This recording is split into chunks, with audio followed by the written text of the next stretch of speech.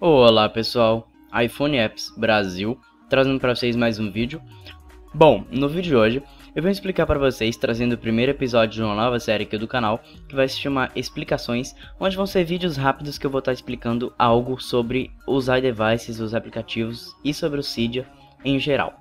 No vídeo de hoje eu venho trazer a explicação do que é exatamente o Cydia. Bom, o Cydia é uma alternativa da Apple Store, só que ele diferencia da Apple Store no seguinte caso.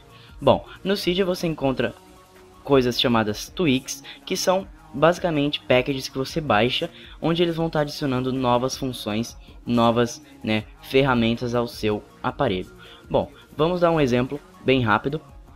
Aqui o Zephyr, por exemplo, funciona muito bem ele é um multitarefa, como eu fiz um vídeo aí passado, o link vai estar na descrição para quem quiser ver, que você simplesmente para fechar o aplicativo passa o dedo de cima para baixo aqui como se fosse Ctrl C. No caso, talvez vocês não tenham entendido, mas vai lá ver o vídeo que ele eu mostrei um tweak que basicamente faz a mesma coisa, só que é de graça, né?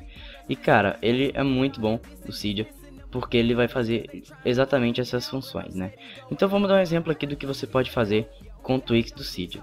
Bom, um tweak bem útil que eu uso é o XK. Ele vai estar tá adicionando essa fileira aqui de números em cima, que você não vai estar tá precisando fazer isso para poder ver os números. Basicamente vai estar tá aqui e se você clicar aqui vai ter uma nova fileira também. Outro tweak, vamos escrever aqui de propósito o nome do canal errado. Opa, botar só mais um S aqui.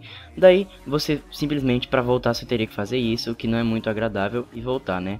Mas com um tweak do Cydia muito simples, chamado Swipe Selection, você vai estar tá simplesmente arrastando o dedo pelo teclado e ele vai estar tá voltando.